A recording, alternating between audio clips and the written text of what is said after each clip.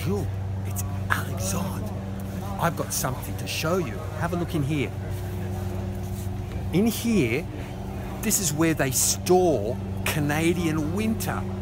Out here, we're in Canadian summer.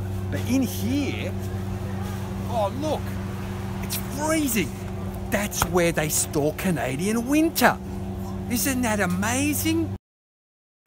I, I, I think I found a real Martian.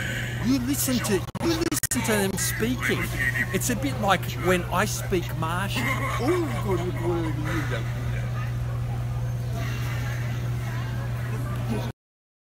Look, I found a secret location here in Costco. Have a look at this, camera woman. Look, real food for real people.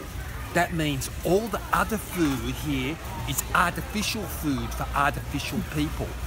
This is the gold mine.